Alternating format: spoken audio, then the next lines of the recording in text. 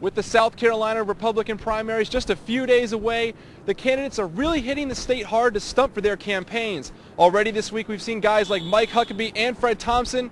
Now it's Senator John McCain's turn. I'd like to give you the next President of the United States, John McCain.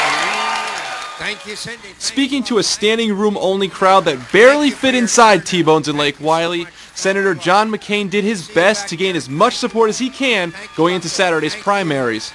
My friends, I look you in the eye and I tell you, I will get Osama bin Laden if I have to follow him to the gates of hell. And I look and I know how to do it.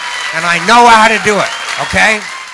McCain, who has seen his numbers rise here in South Carolina, also answered several questions from audience members. They ranged from the war in Iraq to a passionate question about the senator's stance on the No Child Left Behind Act. I think that it was a step forward. I think it needs to be reauthorized. I think we need to examine where it succeeded. I think it needs to be examined where it failed. We have to improve teachers' pay, obviously. But know, I'm going to look you in the eye and tell you, we need to improve good teachers' pay, and we need to find bad teachers another line of work. And, okay? Okay?